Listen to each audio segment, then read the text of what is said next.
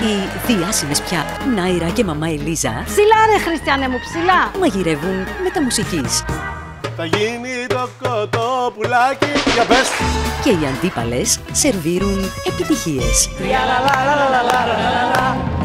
Θα πάρει η Κύπρος το πολυπόθητο Ντους Μπουάν από την Ελλάδα. Είμαι κοκκόνα.